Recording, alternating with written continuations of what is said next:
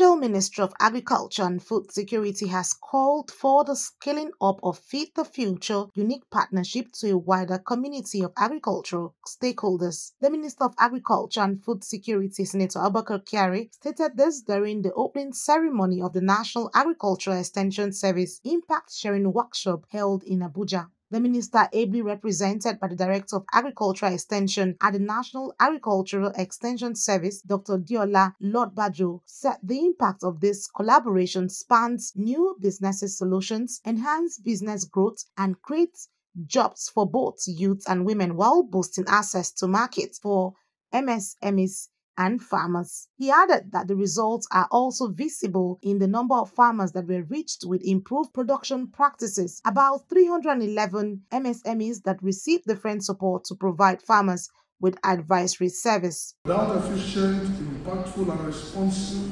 responsive pluralistic agricultural extension, we cannot transform agriculture in a way that Nigeria will be food sufficient. Director of Winrock International, Jean-Pierre Rochelle hailed the contributions of MSMEs, stating they serve as change catalysts, bringing innovation and productivity enhancing inputs to the doorsteps of 2 million smallholder farmers. He added that this investment has translated into transforming livelihoods of farmers with improved access to markets, aligned products, services, technologies, and information through what is called most impactful practices, which is aid farmers increase their profitability and their yields. The entrepreneurship, the ingenuity and innovation coming from those MSMEs, many of, many of them who have joined us today, has demonstrated to the nation how private sector extension delivered through MSMEs has a catalytic impact on national food security. Those MSME change agents have, have transformed extension services from a mere information dissemination platform into a robust enterprise. They have showcased the positive economic and social benefits of private sector investments in smallholder-oriented service provision. This not only increases the revenue of MSMEs, but it also promotes productivity and prosperity among smallholder farmers.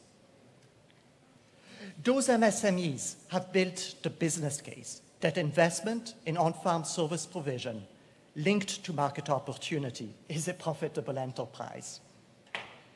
Chief of Party for USAID's Feed the Future program, Dr. Ben Odoemena, emphasized the initiative's commitment to sustainability, saying the visible impact of the collaboration includes reaching numerous farmers with improved practices and integrating digital extension in public sector delivery systems. In a country where you have an extension agent farmer ratio of 1 is to 10,000, it is not possible for that country not to have food insecurity. Because what does the extension do? Extension provides information regarding improved technologies, regarding market access, regarding issues of climate. Without, we normally say that knowledge is power, but information is currency. This workshop, however, demonstrates how development projects should align with national policies and avoid working in silos and its complementarity of public and private sectors that strengthen service delivery, which is evident by the partnership with USAID for a more sustainable and food secure future for Nigeria. Anieti Patrick, Core TV News, Abuja.